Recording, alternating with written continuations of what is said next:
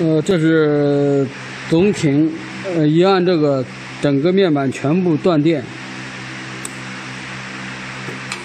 呃，这是电源指示灯，一按总停断电，它就灭了。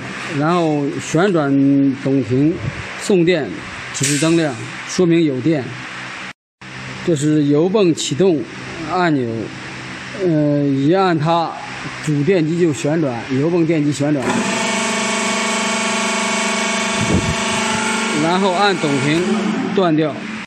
这是手动自动开关，呃，左旋是手动，右旋是自动。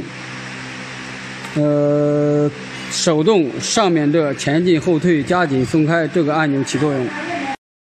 旋到自动，旋到中间是空位，旋到自动，这个工作按钮起作用，或者是脚踏起一踩，它就起作用。然后这个是停止，如果中间出现问题啊，照那，照你手。嗯，呃，调到手动，然后点动松开，呃，点动加紧，好，然后把它取出来，把这个销子拿出来，然后松开，然后把它往前拿，拉出。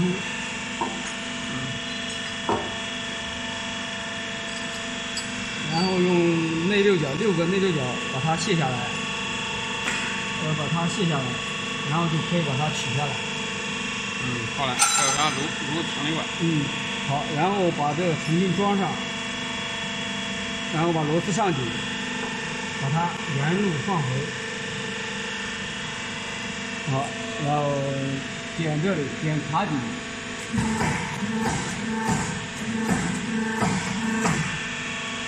然后把销子再插上去，好，然后点松开，这一次装完成了。好了。哦上面这个是油站，试机的，那油箱没有照。这是油泵电机，这是油泵，这是油泵座，然后这是阀站，整个这个是阀站，这是加油口。打开注油，然后不用的时候关上。这是进油管，这是油泵的出油管，到油站。这是接线，嗯，这个是接线端子，就是那个电磁阀的线。然后这个是溢流阀，整个这块溢流阀，这是调压力的，这边是大，这边是小。顺着这个顺时针是大，逆时针是。然后这个是。呃，加紧松开电磁阀，这边是加紧指示，这边是松开。嗯，再往这个矮一点的，这个是呃前进电磁阀和后退电磁阀。前再往这边是压力表，这是看压力的。然后这个是压力表开关，往向这边旋转打开，然后往这边旋转是关。它就是看压力的。嗯，调好以后压力以后关上就。